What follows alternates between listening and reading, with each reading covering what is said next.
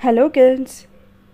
Today I am going to tell you a simple speech on Republic Day for students. Let us see the speech. Good morning respected principal, teachers and my dear friends. My name is so and so studying in class so and so. Wish to give a speech on the Republic Day celebrations. On this occasion of Republic Day, I would like to thank my class teacher for giving me an opportunity to speak about the Republic Day. Today, we all are gathered here to celebrate the 73rd Republic Day of our nation.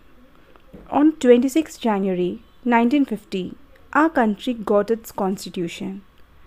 We got our independence on 15th August 1947, but before 26 January 1950, we were following the law and rules set by the British. Since 26 January 1950, we have our own rules and law that are implemented to all the Indians. The constitution we have today has come into existence after many debates and amendments. On 26 November 1949, the drafting committee of constitution was formed and Dr. B. R. Ambedkar was appointed as the chairperson of the committee. After a debate in both of the houses, the constitution came into existence and we became a republic country. Republic means that the citizen of the country holds the supreme power to elect representatives.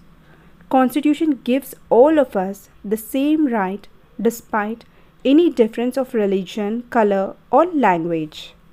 A grand celebration of Republic Day is held in the capital of India, Delhi. On this day, ceremonial par- parades take place at the Rajpath in presence of President. The celebration starts at the gates of the Rashtrapati Bhavan.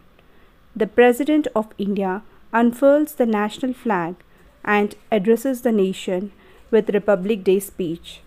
The prestigious awards of the country are also given to the martyrs and heroes of the army and civilians on this day. I wish all of you a very happy Republic Day.